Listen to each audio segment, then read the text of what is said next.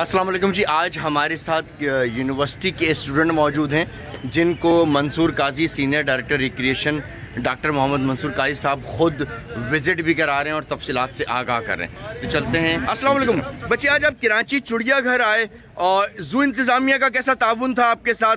क्या सीखा आपने और कैसा लगा आपको? सफ़ाई वगैरह कैसी लगी आपको? जी।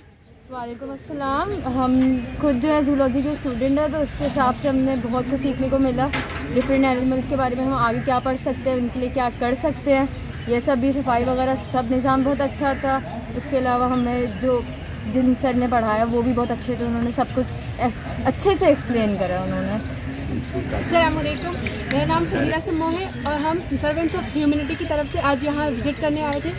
हमें यहाँ कर बहुत मज़ा आया और बहुत कुछ सीखने को मिला। एक अलग ही व्यू था कि जू मतलब बहुत ही ख़त्म हो चुका है और पसमानदगी की तरफ़ जा रहा है लेकिन आज बहुत देखने को मिला कि यहाँ पर तो बहुत अच्छे से ख्याल वगैरह रखा जा रहा है जानवरों का जानवरों की देखभाल और उनके बारे में जो है डॉक्टर मंसूर काजी ने हमें बहुत अच्छे से गाइड किया। उन्होंने बहुत सारी इन्फॉर्मेशन हमें दी इंटरप्रेटिंग वगैरह के हवाले से और यहाँ पर भी जो भी कुछ देखा सफ़ाई वगैरह एनिमल्स और मैं आज कराची जू का विज़िट करने आई थी।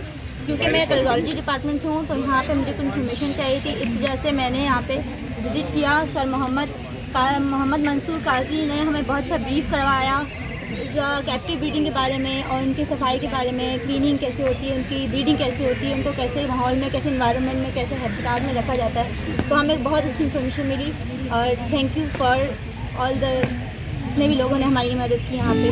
Thank you